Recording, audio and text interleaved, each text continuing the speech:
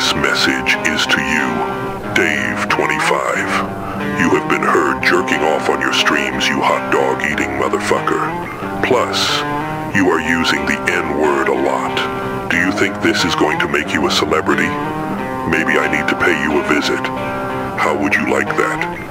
Next time you dream, I'll be in it. So stop